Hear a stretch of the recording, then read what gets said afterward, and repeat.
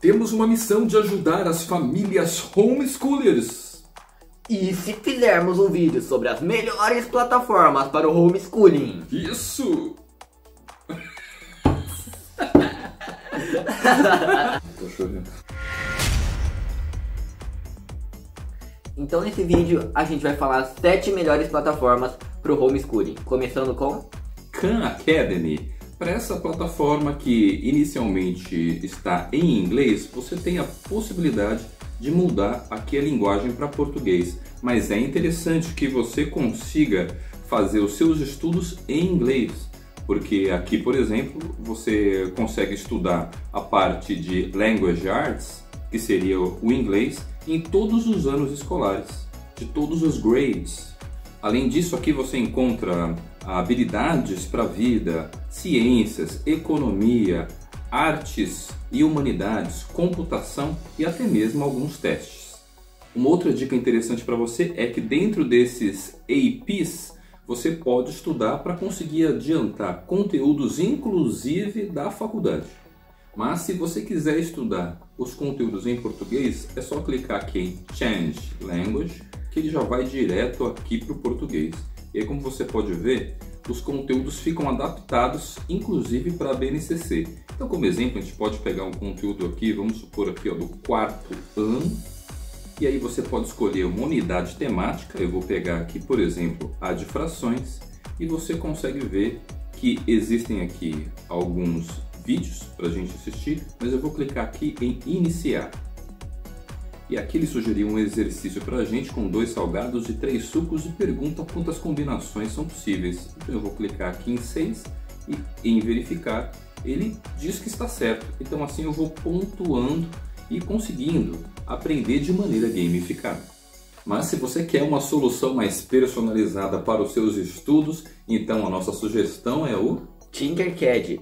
Nessa plataforma você pode ter vários projetos de criação para projetos em 3D, ou circuitos elétricos, ou até blocos de código.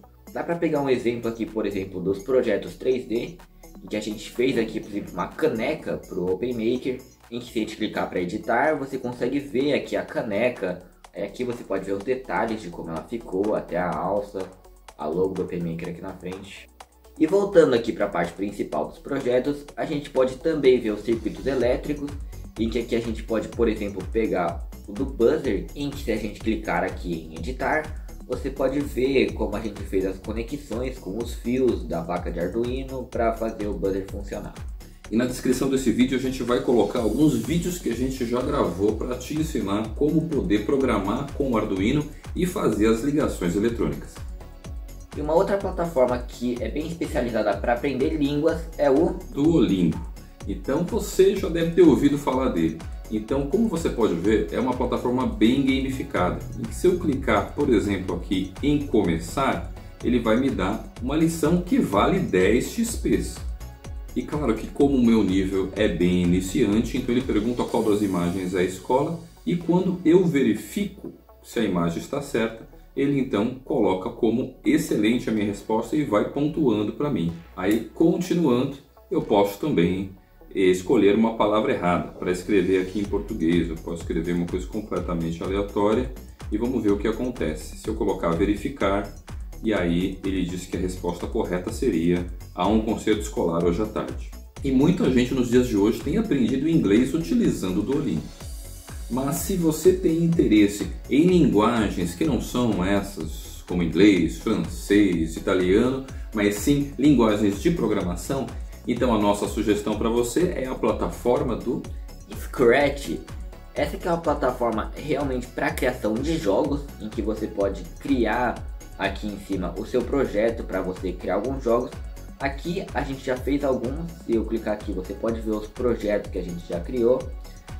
Eu vou entrar aqui, por exemplo, no do Povo Pirata, esse que é um labirinto que a gente criou aqui toda a programação, ela é feita a partir de blocos, você pode ver aqui do lado como ela funciona.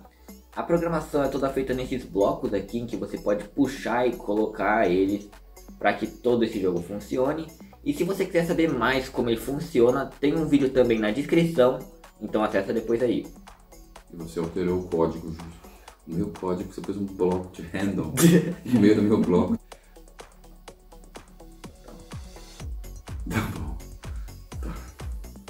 Muitos desses conteúdos ficam disponíveis no nosso site. Então, quando você entra no www.dispensados.com.br, se você entrar aqui em conteúdos Creative Commons de atribuição, você encontra aqui, por exemplo, um estudo para o aprendizado de programação em Arduino, começando pela plataforma do Scratch, que a gente já falou, de Arduino também a gente falou um pouco, e um monte de games que a gente já produziu aqui, inclusive a playlist no YouTube que a gente disponibiliza gratuitamente para você. Uma novidade no nosso site é que para você que tem dúvidas como ensinar matemática e física e química para as crianças, então eu criei para você alguns textos para te inspirar a estudar química, por exemplo, na cozinha, a poder estudar artes junto com física e diversas outras coisas interdisciplinares ou até mesmo transdisciplinares.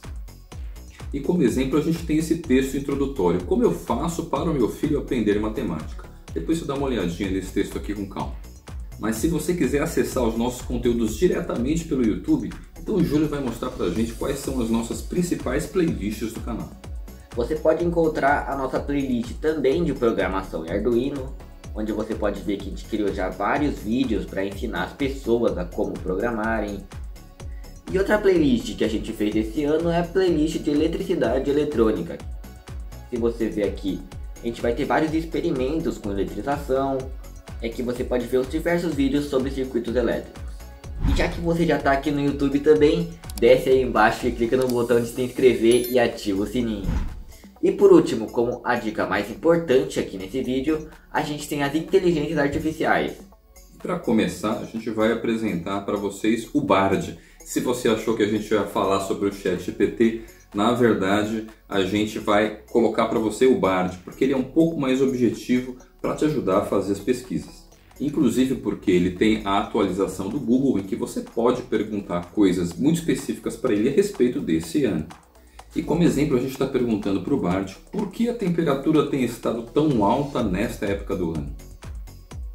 E aqui ele responde para a gente que as principais causas são o aquecimento global e o El Niño.